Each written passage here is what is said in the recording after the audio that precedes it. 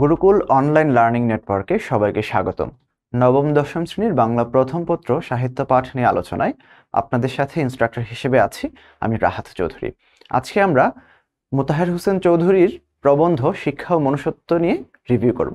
অর্থাৎ এই রিভিউ ক্লাসে পূর্ববর্তীতে যারা এই প্রবন্ধটি পড়েছে, তারা যেমন তাদের পড়াটুকুকে ঝালিয়ে নিতে পারবে, পাশাপাশি যারা আগে এই প্রবন্ধটি পড়েনি, তারাও এক পলকে এর মূল নির্দেশটুকু পেয়ে যাবে।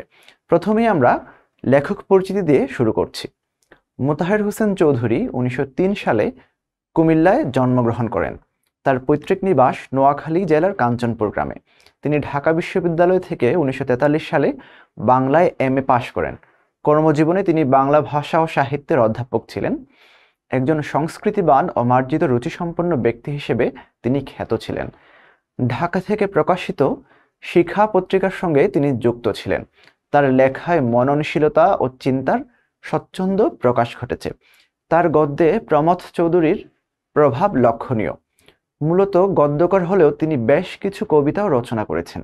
তার প্রবন্ধ গ্রন্থ, সংস্কৃতির সংস্কৃতি কথা, বাংলা সাহিত্যের মননশীল প্রবন্ধ ধারা একটি উল্লেখযোগ্য সংযোজন। এই সংস্কৃতির গ্রন্থ, প্রবন্ধ গ্রন্থটি খুব গুরুত্বপূর্ণ একটি প্রবন্ধ গ্রন্থ। এখান থেকে প্রায়শই পরীক্ষায় প্রশ্ন এসে থাকে যে সংস্কৃতির কথা প্রবন্ধ গ্রন্থটি কার রচিত? সেটা হচ্ছে মোতাহার হোসেন চৌধুরী রচিত, কিংবা মোতাহার হোসেন রচিত মোতাহার হোসেন চৌধুরী রচিত প্রবন্ধ গ্রন্থ কোনটি? এরকম প্রশ্ন আসলে আমরা সবসময় সংস্কৃতির কথা এই অপশনটিকেই বেছে বেছে নেব। তার মৃত্যুর পর তার মৃত্যুর পর গ্রন্থটি প্রকাশিত হয়। সভ্যতা ও সুখ তার দুটি অনুবাদ গ্রন্থ। অর্থাৎ মোতাহার হোসেন চৌধুরীর দুটি অনুবাদ এই খুব গুরুত্বপূর্ণ দুটি অনুবাদ গ্রন্থ হচ্ছে সভ্যতা এবং সুখ। এই দুটি থেকে প্রায়শই প্রশ্ন এসে থাকে পরীক্ষায় যে সভ্যতা কিংবা সুখ, এই অনুবাদ গ্রন্থটি কার লেখা বা কার রচিত? সেটি হচ্ছে মোতাহার হোসেন চৌধুরী রচিত। উনিশশো ছাপ্পান্ন সালের আঠারোই সেপ্টেম্বর তিনি পরলোক গমন করেন। আমরা এখন এক পলকে এই এই প্রবন্ধ সম্পর্কে বিস্তারিত আলোচনা দেখে নিব। প্রথমে উৎস পরিচিতি। শিক্ষা ও মনুষ্যত্ব প্রবন্ধটি মোতাহার হোসেন চৌধুরীর সংস্কৃতির কথা গ্রন্থের মনুষ্যত্ব শীর্ষক প্রবন্ধের অংশবিশেষ। অর্থাৎ এই শিক্ষা ও মনুষ্যত্ব প্রবন্ধটি মোতাহার হোসেন চৌধুরীর যে সংস্কৃতির কথা, যে গুরুত্বপূর্ণ প্রবন্ধ গ্রন্থটির কথা আমরা ইতিপূর্বে জেনে এসেছি, সেই সংস্কৃতির কথা যে সংস্কৃতি কথা যে গ্রন্থ, প্রবন্ধ গ্রন্থ, তার মনুষ্যত্ব শীর্ষক প্রবন্ধের অংশবিশেষ হচ্ছে আমাদের এই শিক্ষা ও মনুষ্যত্ব যে প্রবন্ধ সেটি। সেই প্রবন্ধটি পাঠের উদ্দেশ্য কি? আমরা যদি দেখি, ন্যায়, সততা, সৌজন্য, সদাচার ইত্যাদি নৈতিক মূল্যবোধের পরিচয় জানা। অর্থাৎ এই প্রবন্ধটি পাঠের মাধ্যমে এই শিক্ষার্থীরা যাতে ন্যায়, সততা, সৌজন্য, সদাচার ইত্যাদি যে মানবিক এবং নৈতিক গুণাবলী আছে, সেই নৈতিক গুণাবলী সম্পর্কে জানতে পারে এবং সেগুলো তারা তাদের নিজেদের জীবনে ধারণ করতে পারে, সেজন্য এই শিক্ষা ও মনুষ্যত্ব প্রবন্ধটি এখানে সংযুক্ত করা হয়েছে। আমরা এরপর খুব সংক্ষেপে এর মূল ভাব বা সারসংক্ষেপটি দেখে নেব। মানুষের জীবন একটি দুতলা ঘরের মতো। এর নিচতলা তার জৈবিক জীবন আর উপরের তলা মনুষ্যত্ব। অর্থাৎ লেখক বলছেন, লেখক মানুষের জীবনকে একটি দোতলা ঘরের সাথে তুলনা করেছেন, যেখানে তিনি নিচতলা হচ্ছে মানুষের জীবসত্তা এবং উপরের তলা হচ্ছে মানুষের মানব সত্তা বা পরম সত্তা অর্থাৎ এখানে লেখক নিচতলা হচ্ছে মানুষের জৈবিক জীবন এবং মান উপরের তলা হচ্ছে মানুষের যে মনুষ্যত্ব, এটাকে ইঙ্গিত করছেন। জৈবিক জীবন বা জৈবিক জীবনের জন্য তার মৌলিক চাহিদাগুলো মেটাতে হয়। কিন্তু মানুষের জন্য এইটুকু যথেষ্ট নয়। মনুষ্যত্বই তার আসল পরিচয়। অর্থাৎ লেখক বলছেন যে, আমাদের যে জৈবিক জীবন, সেখানে আমাদের বিভিন্ন মৌলিক চাহিদা আছে। সেই মৌলিক চাহিদাগুলো আমাদের মেটাতে হয়। অর্থাৎ আমাদের খাদ্য খেতে হয়, বাসস্থানে ব্যবস্থা করতে হয়, আমাদের বস্ত্র পরিধান করতে হয়। এরকম নানাবিধ আমাদের চাহিদা রয়েছে, যেগুলো হচ্ছে আমাদের মৌলিক চাহিদা। সেটি হচ্ছে আমাদের জীবসত্তার চাহিদা। কিন্তু সেই চাহিদাগুলোই আসলে মানুষ হয়ে ওঠার জন্য যথেষ্ট নয়। এর জন্য মনুষ্যত্ব খুব বেশি প্রয়োজন। অর্থাৎ জীবসত্তা আর মনুষ্যত্ব এর মধ্যে একটা সম্পর্ক স্থাপনের জন্য লেখক এখানে শিক্ষা গ্রহণের কথা বলছেন। আমরা দেখি যদি শিক্ষা মানুষের মধ্যে এই মনুষ্যত্বের বিকাশ ঘটায়। মানুষের পরম লক্ষ্য হওয়া উচিত মুক্তি, চিন্তা ও বুদ্ধির মুক্তি। অর্থাৎ লেখক বলছেন যে শিক্ষা মানুষের মধ্যে এই মনুষ্যত্বের বিকাশ ঘটায়। অর্থাৎ এই যে নিচতলা যে মানুষের জীবসত্তা সেই জীবসত্তার ঘর থেকে মানব সত্তার ঘরে যেতে গেলে আমাদের সিঁড়ি হচ্ছে শিক্ষা। শিক্ষা গ্রহণ করার মাধ্যমে আমাদের মনুষ্যত্বের বিকাশ ঘটে। পাশাপাশি শিক্ষা গ্রহণের মাধ্যমে আমরা আরও বেশি মানবিক হয়ে উঠি, আমাদের নৈতিক মূল্যবোধ বৃদ্ধি পায়। এবং লেখক বলছেন যে মানুষের খেয়ে পরে বেঁচে থাকাই মানুষের শুধু একমাত্র লক্ষ্য হওয়া উচিত নয়, বরং মানুষের জীবনের পরম লক্ষ্য হওয়া উচিত মুক্তি, যেটি কিনা চিন্তার মুক্তি এবং বুদ্ধির মুক্তি। চিন্তা এবং বুদ্ধির মুক্তি বলতে লেখক কি বোঝাচ্ছেন? লেখক বোঝাচ্ছেন যে আমরা যাতে চিন্তা ভাবনা যাতে আমাদের শৃঙ্খলিত না হয়ে যায় কিংবা আমরা যাতে আমাদের চিন্তা ভাবনার যে দেয়াল, সেই দেয়ালকে, টপকে আরও প্রসারিত করতে পারি আমাদের দৃষ্টিভঙ্গিকে কিংবা আমাদের বুদ্ধিকে। অর্থাৎ আমরা কোথাও শৃঙ্খলিত না থেকে আমরা কোনো কোনো সুনির্দিষ্ট চিন্তাভাবনার অনুসারী না হয়ে সব ধরনের চিন্তাভাবনার প্রতি আমাদের সবসময় ইতিবাচক মনোভাব থাকা উচিত এবং আমাদের বুদ্ধিবৃত্তিক আন্দোলনে সংযুক্ত হওয়া উচিত বা বুদ্ধির চর্চা করা উচিত। এতে করে আমাদের মানবিক মুক্তি সাধন হবে এবং পাশাপাশি মানুষের আত্মপ্রকাশের স্বাধীনতাও থাকা উচিত। অর্থাৎ আমরা যা বলতে চাই, আমরা যা অনুভব করি কিংবা আমরা আসলে যা ধারণ করি, সেই জিনিসটুকু আমরা যাতে প্রকাশ করতে পারি, সেই প্রকাশের স্বাধীনতাও থাকা উচিত বলেই লেখক মনে করছেন। কিন্তু ক্ষুধা, তৃষ্ণা নিবারণ না হলে সেই লক্ষ্যে পৌঁছানো দুরহ। পাশাপাশি লেখক এটাও বলছেন, এই যে মানুষের জীবনের পরম লক্ষ্য হওয়া উচিত, চিন্তা এবং বুদ্ধির মুক্তি, সেই লক্ষ্যে পৌঁছানোর জন্য আমাদের ক্ষুধা এবং তৃষ্ণাও নিবারণ করা প্রয়োজন। লেখক এটিও স্বীকার করে নিচ্ছেন যে ক্ষুধা এবং তৃষ্ণা যদি নিবারণ না হয়, আমরা আসলে এই পরম লক্ষ্যে পৌঁছাতে পারব না। আমাদের এই ক্ষুধা বা তৃষ্ণার যে মৌলিক চাহিদা বা যে জৈবিক চাহিদা, সেই চাহিদাগুলো পূরণ করেই তারপর আমাদের সেই মানবিক হয়ে ওঠা যে পরম লক্ষ্য, সেই লক্ষ্যে পৌঁছাতো পৌঁছানো সম্ভব। তাই লেখক বলছেন, শিক্ষা ব্যবস্থাকে এমনভাবে সাজানো দরকার যেন তা জৈবিক চাহিদা পূরণ করতে পারে, আবার মূল্যবোধ ও মুক্তির আকাঙ্ক্ষাকেও জাগিয়ে রাখে।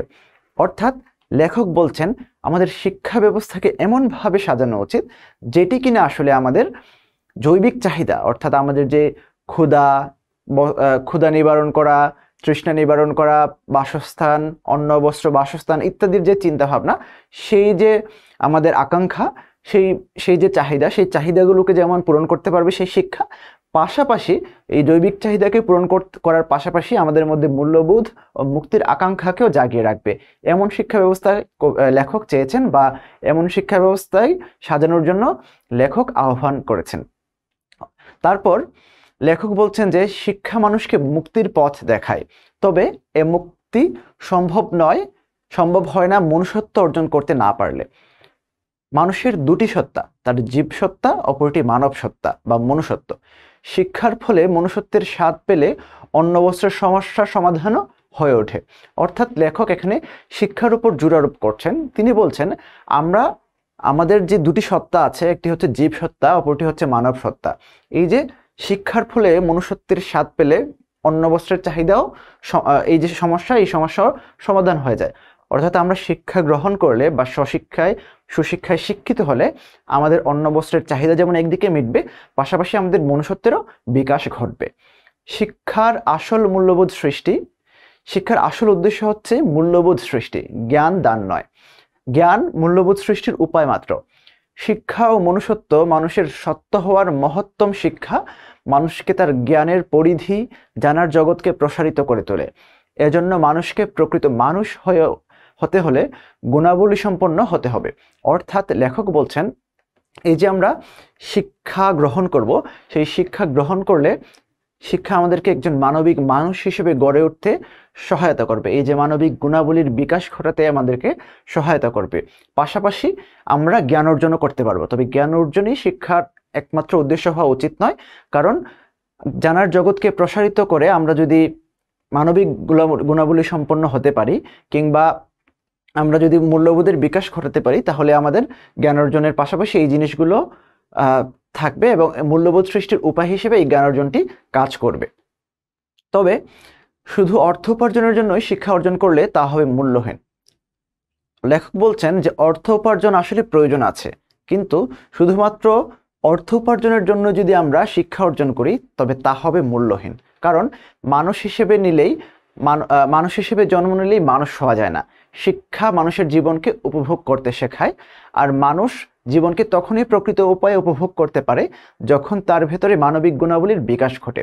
অর্থাৎ লেখক বলছেন যে, মানুষ হিসেবে জন্ম নিলে আসলে মানুষ হওয়া যায় না। এর জন্য আসলে আমাদের শিক্ষা গ্রহণ করতে হবে। শিক্ষা গ্রহণ করলে আমরা জীবনকে উপভোগ করতে পারব।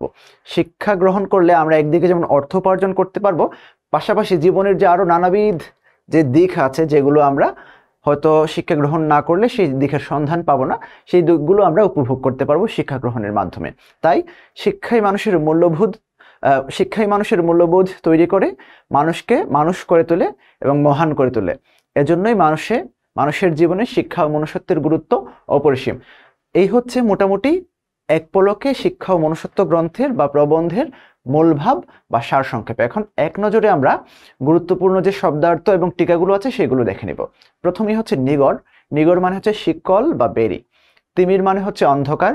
খুদ পিপাসা মানে হচ্ছে ক্ষুদা ও তৃষ্ণা। এখানে একত্রে এদেরকে খুদ পিপাসা বলা হচ্ছে। ফতুর মানে হচ্ছে নিঃস্ব বা সর্বশান্ত হয়ে যাওয়া। লেফাফা দুরস্তি মানে হচ্ছে বাইরের দিক থেকে ত্রুটিহীনতা কিন্তু ভিতরে প্রতারণা।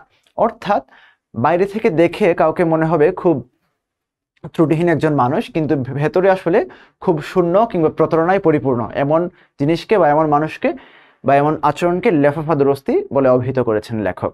বেরি মানে হচ্ছে শিকল বা শৃঙ্খল, হামেশা মানে হচ্ছে সব সময় বা সর্বক্ষণ, উন্মোচন মানে হচ্ছে উন্মুক্ত করা, পিঞ্জরাবদ্ধ মানে হচ্ছে খাঁচায় বন্দি জীবসত্তা মানে হচ্ছে জীবের অস্তিত্ব।